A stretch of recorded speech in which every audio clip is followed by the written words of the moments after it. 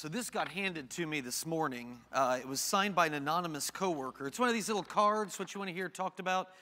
If I buy you a cup with a straw, would you use it? The bottle and lid annoys me. Okay, first of all, Tyler Harnish, where are you? If you hand me physically the card, you're not an anonymous coworker. And secondly, no. Okay, this is, I'm not gonna do that, so you can deal with it. Um, the opportunity to submit questions, uh, thanks to Tyler, is now closed. There will be no more questions accepted. Uh, the one we're doing this morning has actually been asked every year I've done this. So I, I, counted them up. I've done these four times, this series four times, and this is the fourth time this has been submitted. And so I feel like somebody out there has been really ticked off that year after year they submit the same question, I don't answer it. So you were, whoever you are, the persistent widow. Remember we talked about her? And you're now getting your way. Now, if you remember, as Jesus instructed, the person that eventually gave in didn't care about her at all. That's the role I'm playing. I don't care but I'm just doing this to get you off my back, all right? So here was the question that was asked. Sometimes my non Christian friends will say I don't really follow the Bible because I don't follow all of the food laws that are in the Old Testament. I tell them that that was for that time only, but then they say that I'm just picking the parts of the Bible that I want to obey. They also say that all the food laws show how outdated and silly the Bible is. Is there a good response? So, this again has been asked for four years in a row. Let me start off by saying this. Before we go any further in this, I need you all to know that I think this is one of the funniest and silliest objections that people have. And you'll hear that. You'll hear them try to mock Christians or mock Bible believers. Have you seen what's in there? We've all heard this to some degree before. The Bible is silly. Look at all these ridiculous laws. You can't wear fabric that has, uh, you, you, can't wear a piece of clothing that has the same kind, two different kinds of fabric. You, you can't eat shellfish on a Sunday afternoon with your uncle. I mean, that's not one, but it's like that. Those are silly rules. Why would you ever follow something so ridiculous as that? You hear this all the time, and I find it hilarious, and here's why. Um, there was this video that was done, and I'm only going to show you the portion that get up, gets up to Indiana. All this video did was take one law from every state in the union currently on the books. Okay? This is currently, I'm not talking about in the 1850s, 2023, these are laws that are current laws in the states of the United States, and we're only going to go through alphabetical order up to Indiana. We'll stop there. Can we roll this, please? In Alabama, it's illegal to wear a fake mustache in church that makes people laugh. In Alaska, you can't wake up a sleeping bear to take a photo. In Arizona, it's illegal to let a donkey sleep in a bathtub. In Arkansas, you can't honk your car horn near a sandwich shop after 9 p.m. In California, if a frog dies during a frog jumping contest, it is illegal to eat that. In Colorado, you are not allowed to keep a couch on your porch. In Connecticut, a pickle cannot legally be called a pickle unless it bounces. In Delaware, it is illegal to sell dog hair. In Florida, if you tie an elephant to a parking meter, you have to pay the same parking meter dues that you would with a car. In Georgia, you can't keep an ice cream cone in your back pocket on Sundays. In Hawaii, it is illegal to stick a coin in your ear. In Idaho, it is illegal to give someone a box of chocolates weighing more than 50 pounds. In Illinois, it's illegal to fall asleep in a cheese shop. In Indiana, it's illegal to catch a fish with your bare hands or a firearm. They enacted the one in Indiana because of Phil Evenson. I don't know if you've ever been fishing with Phil. I went one time, we got in the boat, he said, You ready? Poof, poof, poof. Freakiest thing I've ever seen. Okay. but he caught some serious fish. All right, so this is what I'm saying. Don't talk to me about silly, stupid laws. We've got them. We've got them all over the place. Is it silly to us that they had a law that they couldn't wear fabric that had two different types of? Of course it is. Just like it's kind of silly to anybody that you have to bounce a pickle off the street if you're going to actually call it a pickle. All right? Now, so we're going to drop this act that we are somehow in 2023 so much more enlightened than all of these people that lived before us. But let's get back to the actual question. Is there a good response when somebody says, well, you're just picking and choosing the parts of the Bible that you want to follow? All right, so here's the answer to that. Number one, yes, there is a really good response, and we're going to talk about that response right now. However, I need to stress number two. If someone is posing this argument to you, there is a very good chance they are not interested in a serious answer. They're, they're not really interested in whether or not you are abiding by what Scripture teaches. Chances are your non Christian friends that are saying this are not going to accept your really good response, even if you have one. So, what I'm doing here is providing to you the reason why what they're saying doesn't stick. I'm not, su- I'm not suggesting that somehow this is going to compel them to believe. We know the reality. We know about blind eyes, and we know about hard hearts, and we know about darkness wanting to run away from the light. Okay, it's not your burden if they choose to reject the truth. I need you to remember that. You're not, you're not judged based on whether or not your scoffer friends end up becoming believers. What are we to do as Christians? Our job is to be a faithful witness to the truth, to live for Jesus, to live like Jesus, and then let Him handle the consequences. Okay? So that's an important thing to remember. Now, that we've prefaced it that way, let's flip to the book of Leviticus. We'll be in Leviticus 11 all morning because you're never in Leviticus in a church service. Leviticus chapter 11, and we're going to start with verses 1 through 8. Okay? This is over clean and unclean food. We're in verse 1. We ready? The Lord said to Moses and Aaron, Who is he speaking to? Moses and Aaron. Who did Moses and Aaron lead? Israel, the old Israelites, which we talked about last week, were a nation set apart for a particular purpose. Verse 2 Say to the Israelites, of all the animals that live on the land, these are the ones you may eat. You may eat any animal that has a split hoof, completely divided, and that chews the cud. We got to stop. I don't know what the cud is. I don't want to know what the cud is. It sounds disgusting. But let's move on. Verse 4. There are some that only chew the cud and only have a split hoof, but you must not eat them. The camel, though it chews the cud, does not have a split hoof. It is ceremonially unclean for you. The coney, I didn't even know the coney was an animal. I don't, what is the coney? Oh, it's a rock badger. My little, I don't even know what a rock badger is. Okay, it's fine. The coney, though it chews the cud, does not have a split hoof. It is unclean for you. The rabbit, though it chews the cud, does not have a split hoof. It is unclean for you. And the pig, though it has a split hoof completely divided, does not chew the cud. It is unclean for you. You must not eat their meat or touch their carcasses. They are unclean for you. All right. You want to talk about detail. That's detail right there. I mean, we're getting into the nitty gritty of what certain animals do seems overly precise. I would even say it's a little obsessive when you look at that. And we're not going to stop there. Before we stop for, for just a minute, I want you to see how badly the owl gets rocked. Go down to verse 9. I always thought everybody liked owls. Owls seem, they're not like birds that are weird with their eyes going in all different directions. We were moving yesterday. Uh, sorry, this is off topic, but it's fine. Um, we were moving yesterday, and Grayson was riding with me in the U-Haul truck, and we saw like a little flock of, I don't know, the sparrows. Are they still around? Have they flown away? But anyway, there's little birds running around, and Grayson's like, oh, the birds are cute. I'd like to have a bird. Would you like to have a bird? I said, no, they're disease ridden. They're filth. I don't want a bird around. He was appalled by that. He was more appalled when this stupid bird, they're not smart, was sitting on the tire of the U Haul truck didn't move. When I started to move forward, Grayson saw a massacre right there in front of his eyes. I'm so sorry to tell you that. Okay, now let's get back to what I was saying. Oh, the owl. So the owl is not like a bird. Like the owl, everybody loves the owl. You remember Owl from Winnie the Pooh? Apparently the Lord does not care for the owl. Let's pick it up in verse 9. Okay, we invert, no, no, no, verse 13. These are the birds that you are to detest and not eat because they are detestable. The eagle, sorry, America, the vulture, the black vulture, the red kite, any kind of black kite, we're not going to have any of those around, any kind of raven, and here we go the horned owl, the screech owl, the gull, any kind of hawk, the little owl, the cormorant, the cormorant, the great owl, the white owl, the desert owl, the osprey, the stork, any kind of heron, the hoopoe, and the bat. All right, you got it? That's pronounced hoopoe, just like that, right? So let's make a couple observations about this passage, not an ordinary passage on a Sunday morning. Number one, this is not the most engaging literature.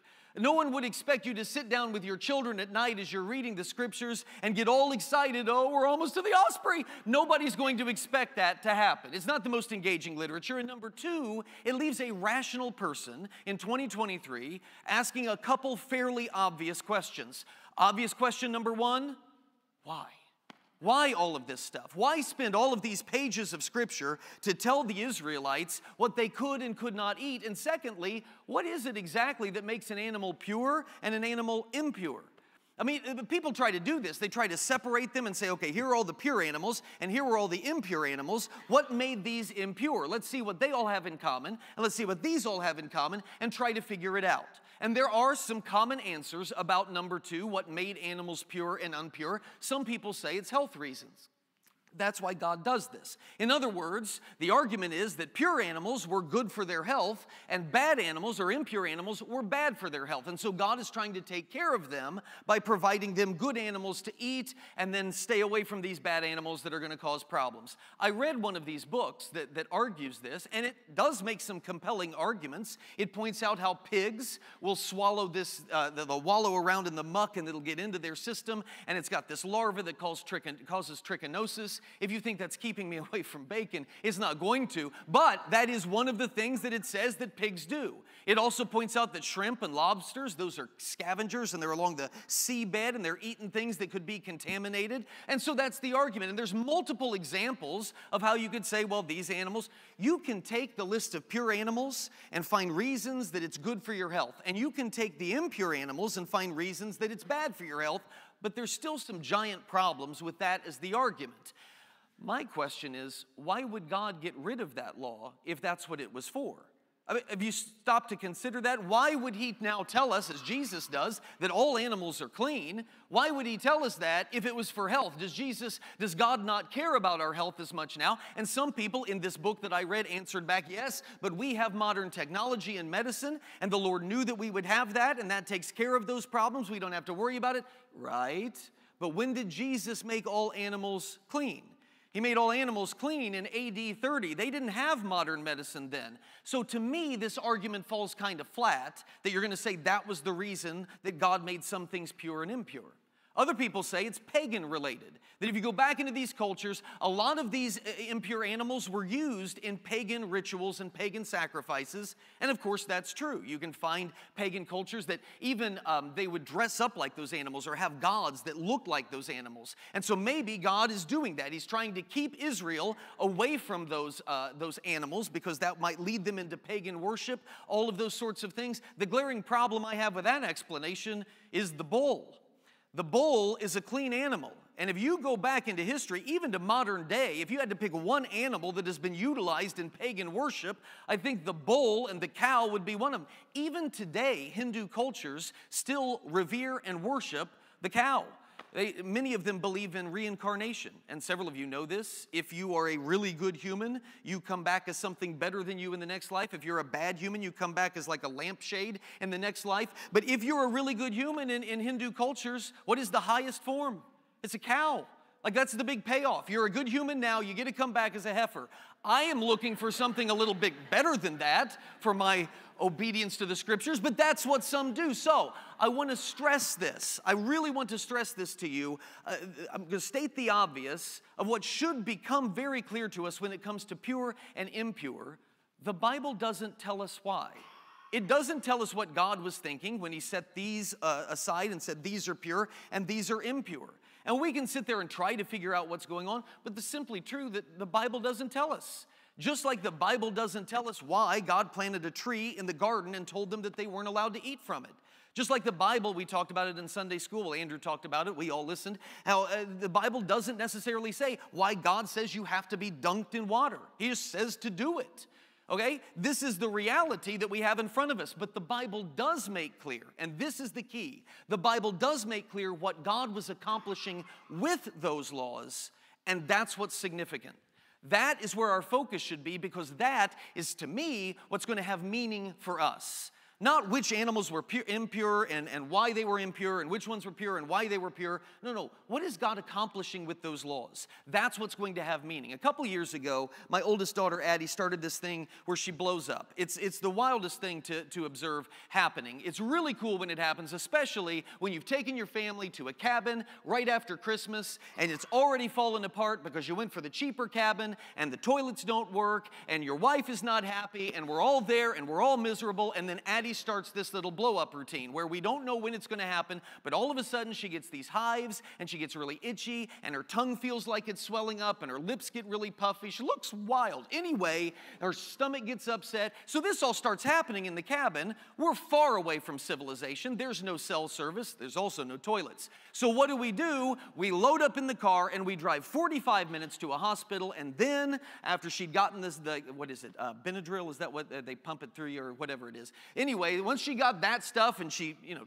returned to humanity. Then we had to get a hotel room that wasn't far from the hospital because, in case she had another problem, but we had the stupid dog with us, so you had to find a hotel that had, it was a terrible vacation. But anyway, the doctors still to this day have not figured out why she does this. They don't know why it is. Um, for a while, we thought maybe it was environmental, but then it happens at different times of year, and sometimes she'll be inside all day long, and feels it coming. So we have determined, we being Jenny and I, it has to be diet.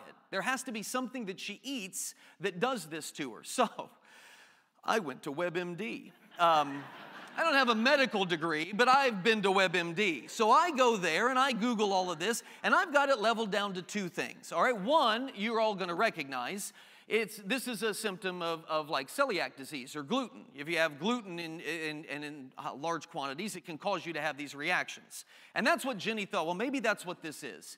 I also found, now go with me on this, that there is one other possibility, and it's a little known disease. It's actually called maple syrup urine disease. Now, every single one of the symptoms of maple syrup urine disease is what Addie does. My vote is the old MSUD. That's what I think this is. But Jenny says, I think maybe we ought to try to cut out gluten and see if that helps. And so that's what we've been doing.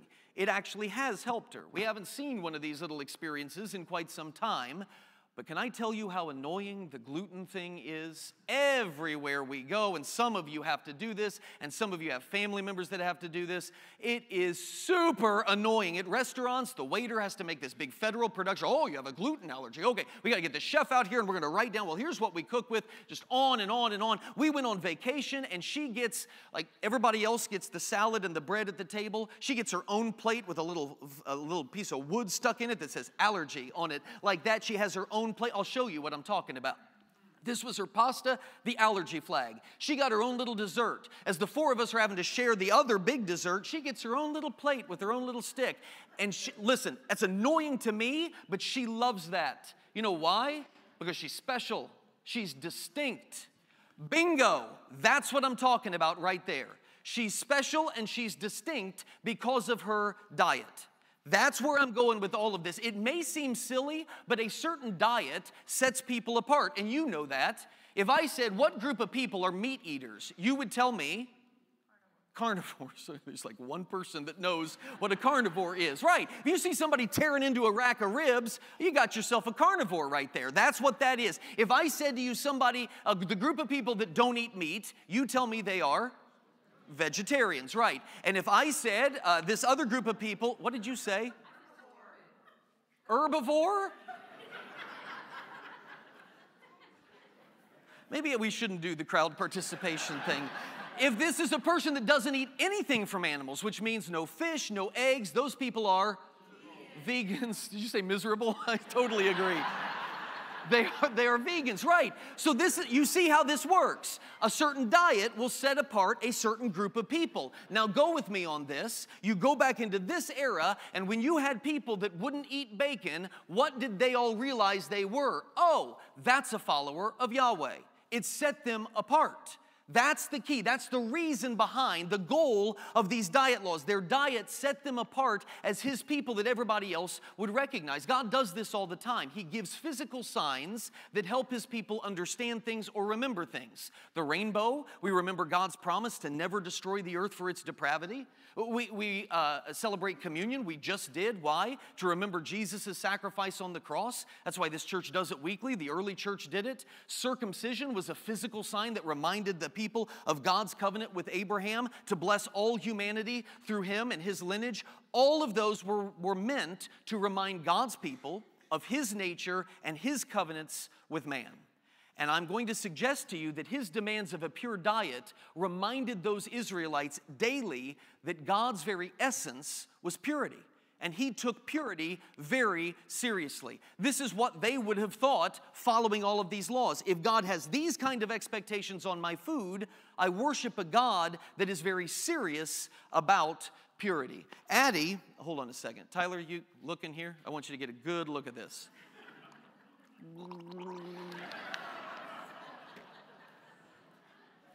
Addie is obsessive about the gluten in her diet. Like everything, she looks at the ingredients on the whole thing. Does this have gluten in it? She's always looking to see if it's there. People who are on a keto diet, they do the same thing. You know anybody on a keto diet? Very high fats, no carbs. They're always looking at the ingredients. Does this have any carbs in it? I can't have too many carbs. Uh, my father in law, who had heart surgery, low sodium diet. He's constantly calling Jenny to sneak him some sodium because Ann is like a. Anyway, it, you have to follow that strict diet. Bingo. God's nation is obsessive about purity, which is exactly what he desired. He put the Israelites on an impurity free diet. And the lesson for us, to me, when I read the passage in Leviticus, is this is a God who's serious about purity. He expects the same of me. Let me show you what I mean by this. You're still in Leviticus. I want you to go to the last section I'll read to you this morning. It starts in verse 29. There's a reason I'm going to read this. Verse 29 Of the animals that move about on the ground, these are unclean for you the weasel, the rat, any kind of great lizard, the gecko, the monitor lizard, the wall lizard, the skink, and the chameleon. Of all those that move along the ground, these are unclean for you. Whoever touches them when they are dead will be unclean till evening. When one of them dies and falls on something, that article, whatever its use, will be unclean, whether it is made of wood, cloth, hide, or sackcloth. Put it in water, it will be unclean till evening, and then it will be clean. If one of them falls into a clay pot, everything in it will be unclean, and you must break the pot. Any food that could be eaten but has water on it from such a pot is unclean, and any liquid that could be drunk from it is unclean. Anything that one of their carcasses falls on becomes unclean. An oven or cooking pot must be broken. They are unclean, and you are to regard them as unclean. A spring, however, or a cistern for collecting water remains clean. But anyone who touches one of these carcasses is unclean. If a carcass falls on any seeds that are to be planted, they remain clean. But if water has been put on the seed and a carcass falls on it, it is unclean for you. Okay, so here's my question I read that passage because that is a lot right there. If I asked you and told you, you need to keep all of those rules, what are you going to, well, I know what you're going to do. You're going to tell me to shove it. But if I were to say, you need to follow this, this is God's instruction for us. If this was actually a requirement for us to do, and you decided, I'm, a, I'm following God, so I'm going to do it like these Israelites, what is the first thing you would do? If you had to keep all of those things, I, I don't know what you would do, but here's what I would do. I would go home and I would write it all out. I would map it out. I would learn it. I would study it. I would quiz myself over it. I would want to know precisely what I'm supposed to do in all of these situations, and I would be on guard to make sure that I'm doing it. That's what, if this was an expe- expectation on me, I would be obsessive about what it was I was supposed to do, and I would think about it all day. I would have to because it involves things that happen all day. I can't touch that. I can't eat that. That's what I would be constantly thinking about. There's a Bible professor named Jay Sklar, and he actually did this. He did this with his group of students. Uh, I want to read you this uh, short little thing that he did. I taught a semester long seminary class on Leviticus, and one of the assignments that I gave my students was to follow as many of the laws in Leviticus as possible for a week and to keep a journal of the experience. Early on, the students shared understandable frustration. Several noted that the prohibition of wearing clothing of two different fabrics eliminated most of their wardrobes. One student simply commented on day two, quote, I really miss bacon. By far, however, the most common observation went along with what this young lady wrote. And he, he listed, he quoted what she had written. Every day, I find myself making decisions about ritual purity and impurity. By midweek, I realized that I was thinking about these things all day long and in every aspect of my life, and that's when it hit me. That's when I realized why these words from Leviticus have been preserved for us and they're revered as holy scriptures. God cares a lot about our purity and holiness. And it's not just from a ritual perspective, as it used to be, but also from a moral perspective. All day long and in every aspect of life, The Lord wants me to pursue purity in my heart, in my thoughts, in my actions. He wants me to reflect His holiness in all that I do. So I'm thinking about it constantly. I, this is what she gleaned from this exercise, I have been treating God's holiness way too lightly. Lord, help me to be holy. I think that's the lesson that's there for us. Now, luckily for those kids in that class and for us today, those dietary laws were never intended for anyone other than who God specifically gave them to. Say to the Israelites, this is what you are to do. Last week, we saw God is shielding, He is separating, He is making distinct a nation of Israel, and He is growing them for a purpose. And do we remember what that purpose was? The purpose was to bring the Messiah into the world. So the laws were, were to make them distinct, them separate, that nation and that nation alone. And once that purpose of bringing Jesus into the world was fulfilled, then Jesus declares, that's it, all foods are clean. He does it in this passage. He says in Mark 7, Don't you see that nothing that enters a person from the outside can defile them? All of these foods that are pure and impure, nothing that you eat is going to defile you. For it doesn't go into their heart, it goes into their stomach and then out of the body. That's pleasant, Jesus. Thank you. In saying this, and by the way, I put this in parentheses because it's in parentheses in Scripture. It's not that I'm adding this, this is in Scripture. In saying this, Jesus declared all foods to be clean. All of them were clean. And Peter, one of his disciples, who was a Jew, and he kept these laws and these rules, he really struggled with this because this was his life. This is what he always knew. And now Jesus is saying, no, no, no, you don't have to do that anymore. Peter struggled to let that requirement go. And so God gives him this vision of this sheet that comes down with all of these impure animals that are on it, these ones that have been written about in Leviticus that you're not to touch, they're detestable, all of that. And a voice tells Peter, Get up, Peter, kill and eat. Surely Lord, Peter replied. I have never eaten anything impure or unclean. The voice spoke to him a second time Do not call anything impure that God has made clean. This happened three times, and immediately the sheet was taken back to heaven. So, obviously, here, Jesus has declared all of these foods to be clean. Living under the new covenant, the old one has been fulfilled, it's done. It is finished. That's what Jesus said. Jesus brought new meaning to these pages of Leviticus. We've talked about this before the shadow reality relationship between the Old Testament and the New Testament. I say this phrase a lot that the Old Testament is the New Testament concealed, and the New Testament is the Old Testament revealed. You see things in the New Testament, you say, oh, that's what was a shadow. That was, a, that was foreshadowing of what was to come in the New Testament. And when I read these and I read the testimony of this girl, I start to realize that's exactly what's playing playing out here. God had told his people to think about purity and to commit to it all the time, even when they sat down to eat, especially when they did. God called them to purity all the time. And Jesus is telling us the exact same thing. In the same way that they were to be obsessive about purity in their diet, you and I are to be obsessive about purity in our hearts and the way that we live around others. That's what we're called to do. That's the model of Scripture. In that same passage of Mark 7 that I just read, look at what Jesus goes on to say. It is from within, out of a person's heart, that evil thoughts come impurity, sexual immorality, and theft, and murder, adultery, greed, malice, lewdness, deceit, envy, slander, arrogance, and folly. All these evils come from inside and defile a person. You can almost hear him echoing the words It is detestable. Stay away from such things. God was serious about it in the Old Testament. He's serious about it under the new covenant. The question is, are we? Are we obsessing about it the way the Israelites had to obsess about their purity laws? I wonder. So I would simply say to the question asker this this would be the response that I would give to whoever it is that says whatever it is that they say to you. Israel was given a distinct diet because they were set apart for a distinct reason.